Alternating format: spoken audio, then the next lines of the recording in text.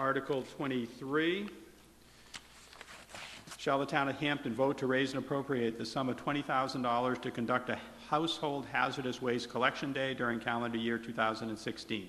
And to authorize the Board of Selectmen to permit the towns of Hampton Falls and New Castle to participate in said collection day at their own expense. To authorize the Board of Selectmen to apply for, accept, and expend for such purposes any funds from the state of New Hampshire, the federal government, any private source, as may become available. Majority vote required, recommended by the Board of Selectmen 5-0, recommended by the Budget Committee 14-0. Fiscal impact note, Finance Department, the estimated 2016 tax impact on $20,000 is 7 tenths of 1 cent per thousand dollars.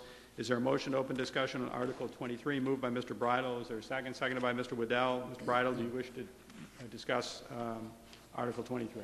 Yes, thank you. Uh, This is an article that we have now that we are out of the 53B. We are out of that, which we used to do the uh, hazardous waste collection. Um, People in this town have come to be able to use that. It saves uh, stuff going into our land, our our transfer station, or being dumped on the side of the road. And I think if we do it once a year, it allows our our citizens a- a a way to dispose of the stuff they need to dispose of. Thank you. All right, thank you, Mr. Bridle. Anyone else wishing to be heard? Mr. Griffin?